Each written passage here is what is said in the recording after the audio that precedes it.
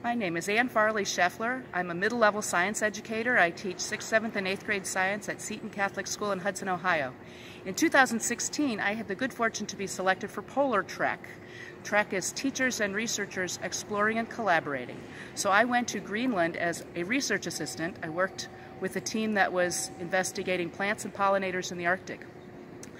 Uh, we know that the Arctic is warming three times faster than the rest of the globe, and so scientists seek to understand not only what are the implications for the Arctic specifically, but what are the consequences of those changes for the rest of the world.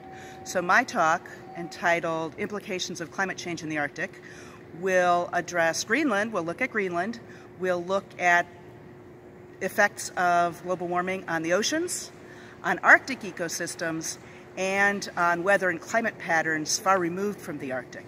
I look forward to meeting the Audubon Society's guests on, uh, on March 3rd.